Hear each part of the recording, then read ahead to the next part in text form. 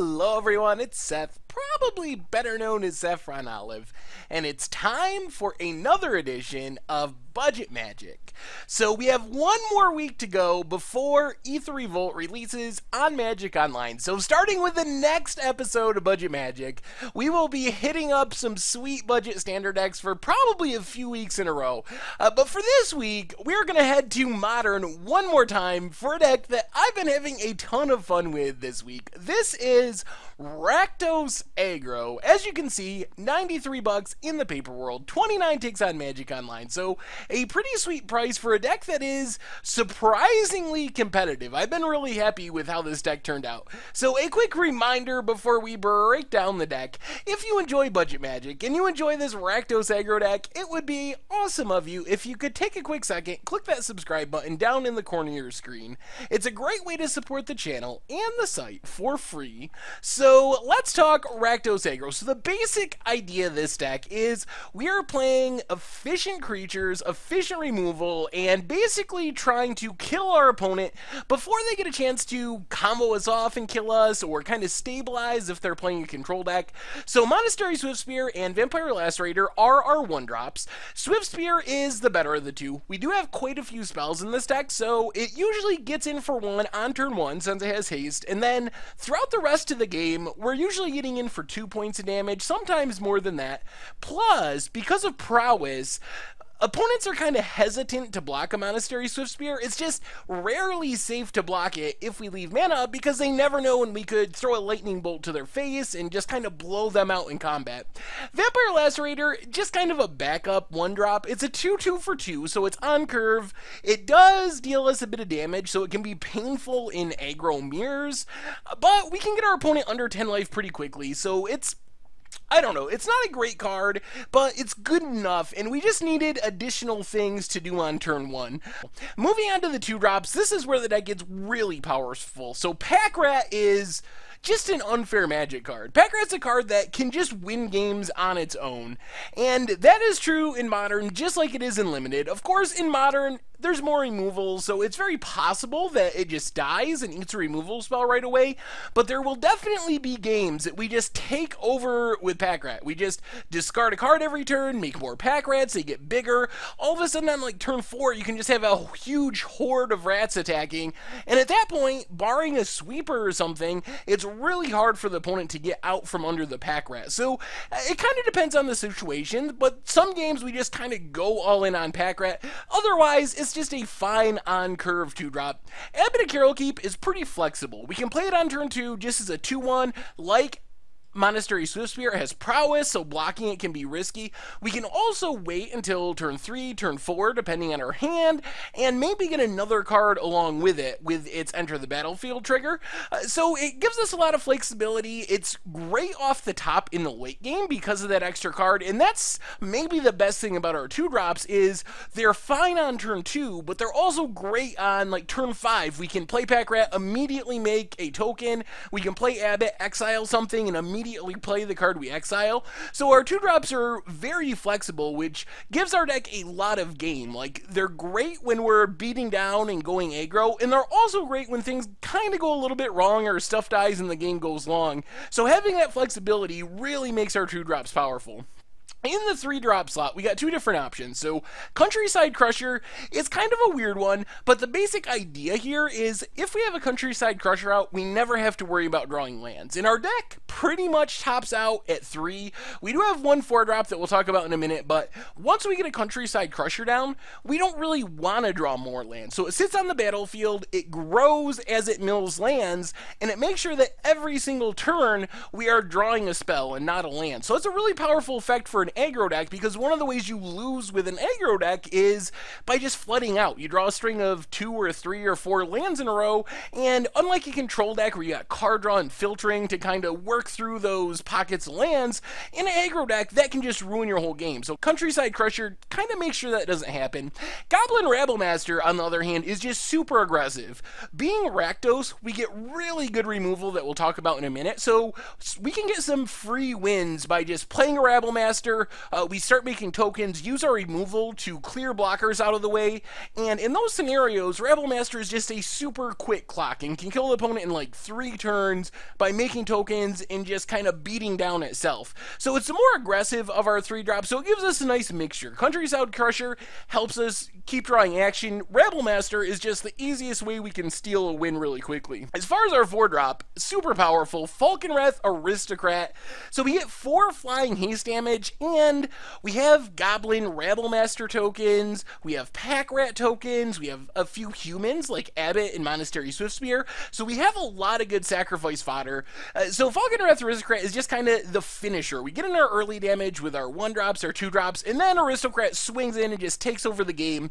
Is really hard to deal with. Pretty much the only cards that get it is Dismember and Path to Exile. And while those cards are popular, it does dodge a lot of removal, and we can do some tricky stuff where we attack with a bunch of stuff. Whatever our opponent blocks, we can sack to Aristocrat to maybe get a counter on it if it's a human.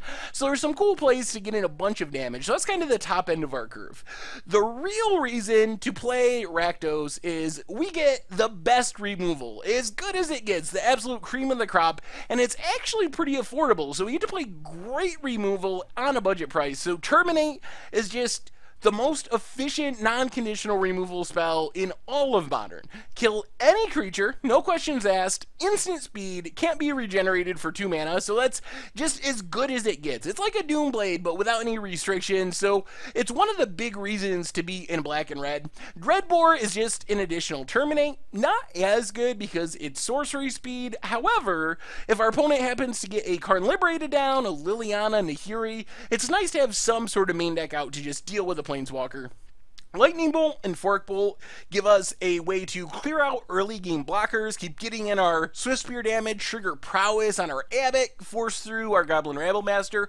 Plus, in the late game, they just go to our opponent's face. So if we can get our opponent down to uh, maybe six life, we can kind of finish them off even if our creatures are dealt with with an Anger of the Gods or whatever. And that's also a benefit of our haste creatures, a Goblin Rabblemaster, especially Falkenrath Aristocrat, Monastery Swiftspear to some extent. We have a lot of creatures creatures that come in with haste, so we can get a lot of surprise kills where opponent feels like they're stable, they feel like they've kind of dealt with their stuff, and then out of nowhere, with a combination of lightning bolts and Forked Bolts, but also Falkenrath Aristocrats and other haste creatures, we just kill our opponent out of the blue.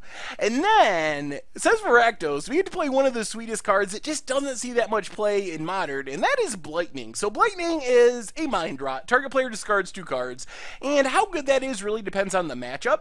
Some if you're playing Affinity, they're going to get empty-handed so quickly, Blightning's probably not relevant.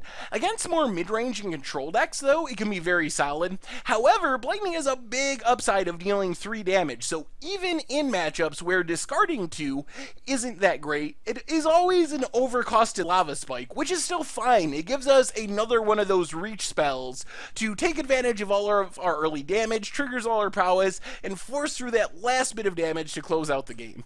As far as our mana base, is pretty straightforward. We get eight budget duals in Dragonskull Summit, Sulfurous Springs, and then a bunch of basic lands. And then in the sideboard, Duress and Outpost Siege, mostly for more controlling matchups. Duress also comes in against combo to get rid of Scapeshifts and Ad Nauseams and stuff like that, but also very good against control decks, getting rid of cryptics, counter spells, removal, sweepers. Outpost Siege just sits out and generates card advantage, so it gives us a way to fight through decks with really heavy removal by just constantly drawing an extra card every single turn. So it makes sure we always have action and can kind of rebuild after a Supreme Verdict, after an Anger of the Gods. So it's really key in those removal heavy mid range control type matchups. And then we have Gutshot, mostly for aggro decks. In fact, Affinity kills a surprising amount of stuff, gives us a free prowess trigger, Vandalblast to fight against any artifact decks, but primarily Affinity, and then Stone Rain for Tron. Uh, these cards are also important right now, I think, because if you listen to what most people have been saying based on the Gitaxian Probe banning, the Golgari Grave Troll banning, that two of the biggest winners are probably Affinity and Tron. So I wanted to make sure I had enough answers in our sideboard to fight against those decks if they do get a bit of a bump from people picking them up now that we've had the Gitaxian Probe banning. So that is Rakdos Aggro for Modern, and that's our Budget Magic deck for this week. And I have to say, I had a ton of fun playing this deck. It's just, it's a really fun deck. It is aggressive, but it has a lot of sneaky card advantage. We don't get just drawing card card advantage, uh, except for the Outpost Siege and the sideboard, but we do a better job of kind of sticking around when things go wrong, thanks to our sneaky card advantage like Pack Rat. Pack Rat, we can always discard a useless land to get another rat. Countryside Crusher, make sure we don't draw useless lands. And then we just have a lot of ways to steal the game. So if we can get in maybe 10 damage with our Swiftspears and our Abbots over the first few turns, it's very possible that something like Falkenrath Aristocrat, Lightning Bolt, Blightning, like that combination of spells can kill our opponent all the way from 10. So it's really easy for us to just kind of steal games out of nowhere. So we get to play a lot of really powerful cards. Like Falkenrath Aristocrat is very strong. Goblin Rabblemaster is just a really good magic card. Pack Rat, Swiftspear. So even though we're a budget deck, we're a budget deck that manages to play just a lot of really powerful stuff, and we can really outrun and outrace a lot of the decks in Modern. Also, Blightning is just awesome. Like, Blightning is such a sweet card to play. 3 damage and discard 2. For some reason, it just feels so good when you're hitting an opponent with it. Can redirect to Planeswalkers, just does so much stuff, and Pack Rat is awesome. Goblin Rabblemaster is awesome. We just get a ton of really sweet cards. So this is like Rakdos aggro cards that I enjoy playing, and I think the combination of these cards is actually pretty powerful. I had some decent success with it. So anyway, that's been our deck tech for Rakdos Aggro. Thank you very much for watching. I hope you enjoy the gameplay videos, and I will talk to you soon.